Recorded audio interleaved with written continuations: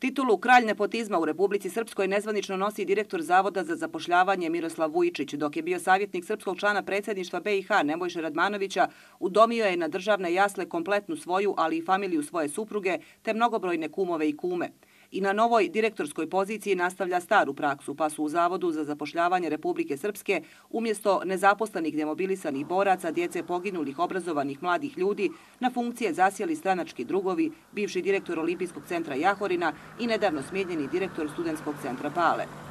Ništa bolja situacija nije ni u paljanskim osnovnim školama. U osnovnu školu Srbija nedavno su primljena tri nova radnika, od kojih jednom u istoj školi rade i otac i majka, a on je na prvo mjesto rang liste izbio zahvaljujući intervju.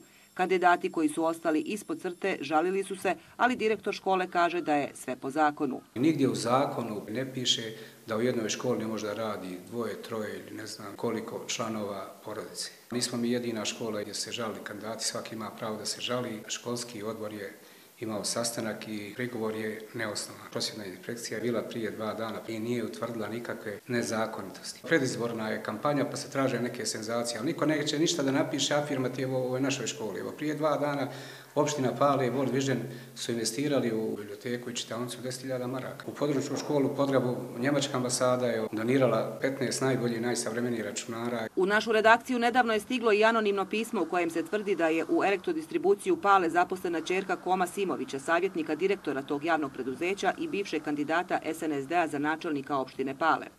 Iz elektrodistribucije Pale su nam u telefonskom razgovoru demantovali ovu informaciju, ali je javna tajna u Palama da se u ovom predizbornom mjesecu u elektrodistribuciji zapošljavaju novi radnici i to navodno samo članovi SNSD-a i Socialističke partije, što izaziva nezadovoljstvo njihovog koalicijonog partnera DNS-a. Cijena toga u elektroprivredi je da treba da poskupi struje i da svi platimo zajedno kampanju Saveza nezavisnih socijaldemokrata, Demokratskog narodnog saveza, socijalističke partije, isto tako zavod zapošljavanje, obrazovne institucije, što sve govori da e, nemaju oni politiku unapređenja ove lokalne zajednice i uopšte grada Istočno Sarajevo, imaju politiku privatnih interesa, zapošljavanje u državne institucije, gdje već imamo ogroman broj administracije, gdje već imamo situaciju da Republika Srpska to više ne može da finansira i da se nalazimo pred bankrotom. U situaciji kada se posao može dobiti jedino preko stranačkih i rodbinskih veza, nije ni čudo što sve više mladih i obrazovanih ljudi odlazi iz Republike Srpske, zemlje u kojoj obrazovanje, znanje i vještina ne znače ništa